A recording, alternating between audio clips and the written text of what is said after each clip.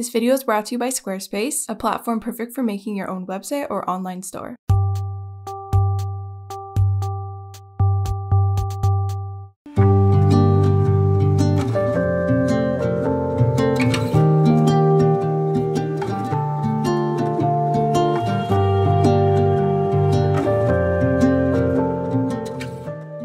Everyone, in this video I am filling my sketchbook as usual, another page in the sketchbook. And this page isn't a news spread. Well, it is, but it isn't at the same time. I actually sketched this out a while ago, but I was flipping through my sketchbook trying to decide what to draw and I was looking at some old pages to see if they needed to be like filled a little bit more.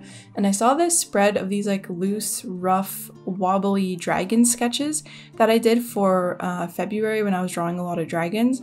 And they were all in pencil, and I just had the urge to color them. So I started off by getting a black brush pen and outlining all of the sketches so that I would have something to work with. It's nice to outline sketches because you get to sort of like reimagine the line work and add details and you're almost like redrawing it in another layer on top. So if there's anything you want to fix, you can fix it in the line work layer, you can add details, you can really make the lines more of like art than just just outlining for the sake of outlining. Um, this particular page, I did it very loosely, not too worried about it being perfect or detailed. I just wanted to draw, I just wanted to color these dragons and have fun with it and make this page look a little bit more colorful and fun and it was honestly super relaxing, super fun to do.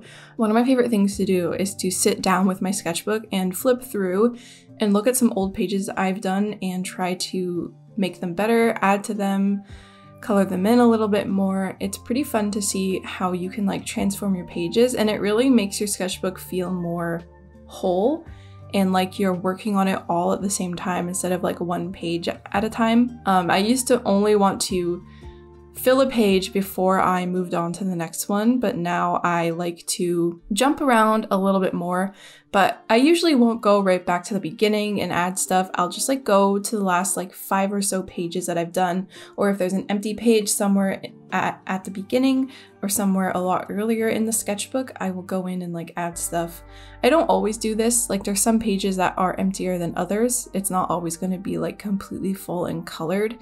It just kind of depends on what I'm feeling and what I want to do. But today I saw all these dragon sketches and I was like, you know what? I'm just going to take some of my um, markers. They're water-based markers, which means they don't bleed through the page because alcohol markers do. And those are the two main types of markers that people use with art are like the alcohol-based ones or more like permanent ones and water-based. Alcohol-based are better for like final illustrations where you really want to be able to blend colors, you want like smooth transitions between colors. They're more for doing like finished art. Water-based markers I like to use for playing around, messing around in my sketchbook, adding water, not water, adding like random splashes of color on pages, coloring in the backgrounds of my sketches. That's what uh, water-based markers are really good for and I like to use them in my sketchbook. I've I uh, do it in a very loose way. It's really just like coloring a sketch. It's like a colored sketch. That's how I would describe it. It's not how I would actually color something if I was wanting to make like a nice looking piece of art. Not to say these aren't nice looking, but this is me doing it quickly and, and loosely just for the sake of playing around with different color combinations, trying to see what I can do with these dragons. Like each one I wanted to have a different color scheme. So the first one, I decided to make it blue, and I was like, what would happen if I made the stomach purple? And then the next one is a yellow dragon. Well, it's like a yellowish greenish, lime yellow, lime yellow, lemon yellow, lime green, um, with like green spines. And then the next one, I took this like beige, light, light marker. I think that one actually was a Tombow marker, not the Ohuhu ones. The main markers that I use are Ohuhu markers because I I feel like I say this all the time, but people always ask what kind of markers I use. And it's not because I've like tried tons of different markers and selected my favorite one. It's just because it's just kind of what ended up happening that I ended up with all these markers. So a while ago, my mom got me a Christmas gift of 60 Ohuhu double-ended water-based markers. And then later down the road, that company reached out to me to do a video for them and they sent me like almost all their colors. So I do have duplicates, but I have 120 different colors. So I thought, hey, I have these, they don't bleed through sketchbooks, and I've slowly kind of fallen in love with water-based markers for sketching. It really takes the pressure off because they're not that expensive of a supply compared to like other supplies and it requires no mixing, it doesn't require a palette. You can just bring them anywhere you want and they're already ready to use to just add whatever kind of color you like on the page. Um, watercolor will always be my like all-time favorite media, but I do get bored of using the same thing all the time and I just let myself use whatever I feel like it in the moment. Like if if I if I think like oh this would look better if I used watercolor, but I don't really want to get out my brushes and fill a, a thing of water and like mix stuff and deal with the mess. I'm just gonna use my markers. And then I decided to use my uh, Caran d'Ache wax pastels for the backgrounds. These are my one of my favorite things that I've started using last year. You might have seen them everywhere, like a lot of people are starting to pick these up and use them because I just feel like adult crayons. They're everything I want a crayon to be and the first time I used them I was like, okay, this is this is kind of magical. This is what I've always wanted. And I kind of was kicking myself because years ago when I used to actually use Crayola crayons, I think I had a commenter recommend them to me, like the Caran d'Ache ones. They're like, they're a little more expensive, but they're like so, so good and they really feel like professional crayons. And I was like, okay, that sounds cool, but I've never heard of that and I just kind of forgot about it. And now everyone's using them and I should have tried it a lot earlier. And the cool thing about them is you can add water to blend them around the page.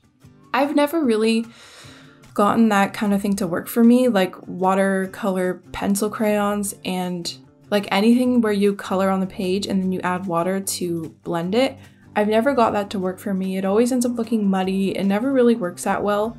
Um, if any of you use them that way, let me know what your process is like, or if you know of any artists that actually add water to the Caran d'Ache ones. I would really love to uh, hear your recommendations for that because I can never get that kind of stuff to work for me. Maybe it's just not the way I work. I can definitely see it being a cool way to like blend them, but I, I don't really use like purely the pastels to do a drawing. I like to mix my supplies together.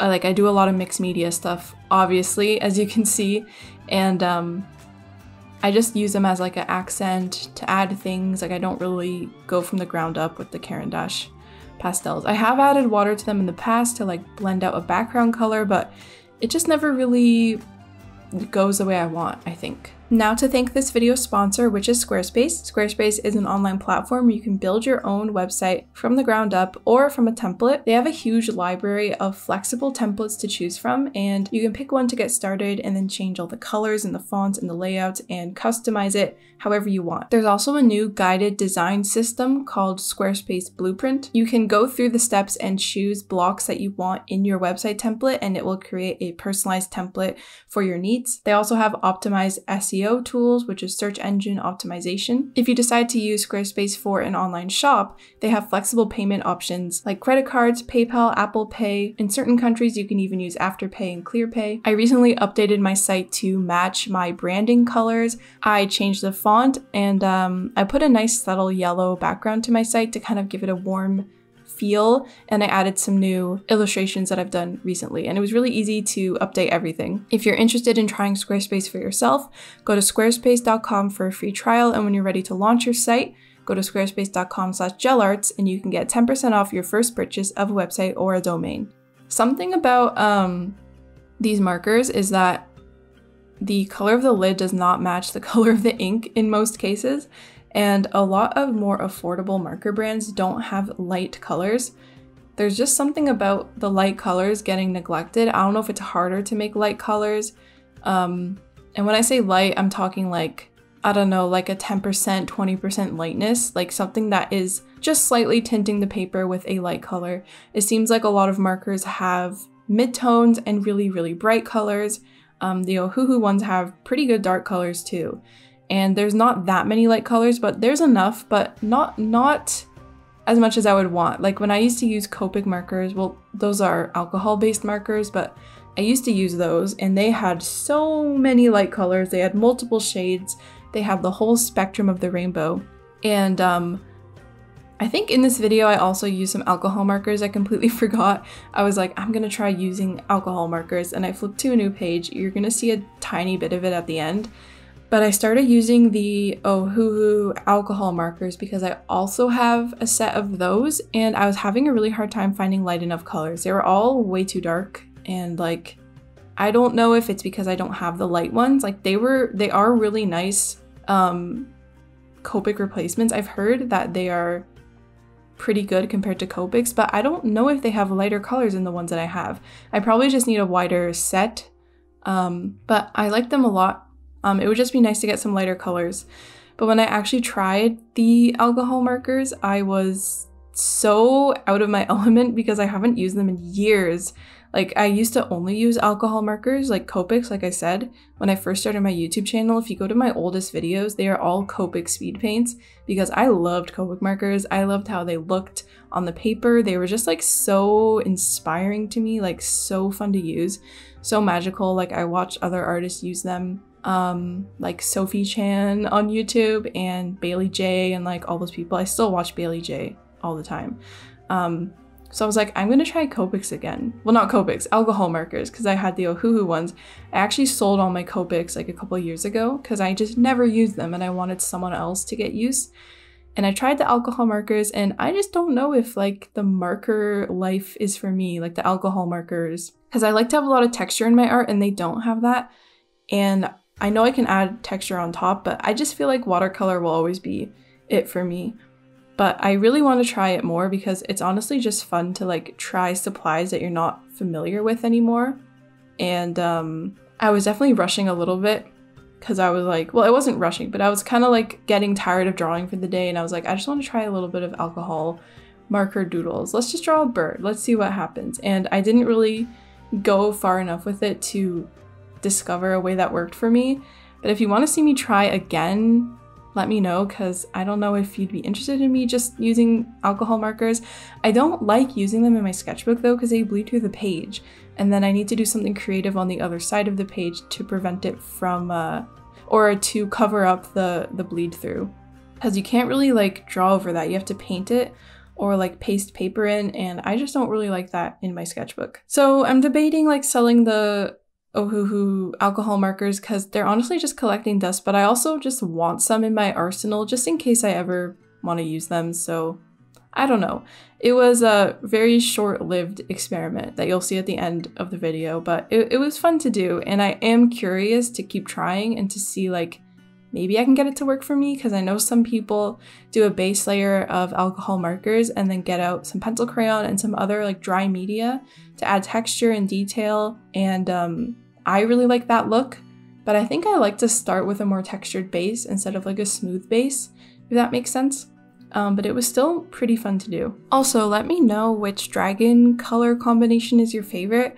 I did a couple of different ones that I I don't normally do, like the bright purple, bright yellow. I actually have always been a fan of purple and yellow and also purple and orange. But um, let me know which ones are your favorite. I kind of like the last ones with like the more natural colors on the page. I think those ones are pretty cool. I also want to remind you that my frog plush pre-orders are still open. You actually get it at a lower price if you pre-order. Currently, once I get them all here, I'm going to close pre-orders, count the inventory, and then put them back up at their original price, and then I will send them all out to everybody who has pre-ordered.